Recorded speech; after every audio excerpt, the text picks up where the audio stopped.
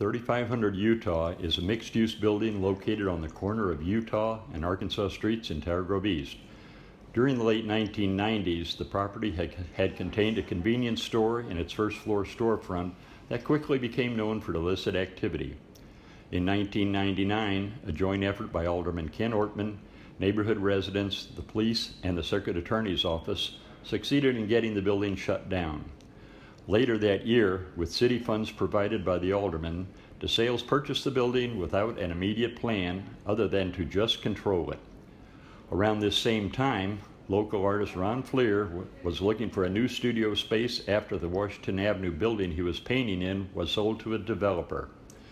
One of Fleer's friends introduced him to DeSales executive director Tom Pickle in 2000. The first building Tom showed him during his search was 3500 Utah.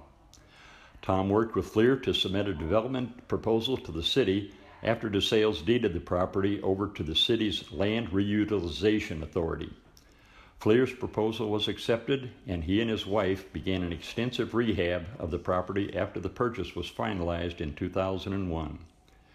Thanks to the support from DeSales, neighborhood residents, Alderman Ken Ortmann and Jennifer Florida, and Ron and Vicki Fleer, this once problem property was converted to a beautiful loft style artist studio with space made available for other artists to rent as studio space.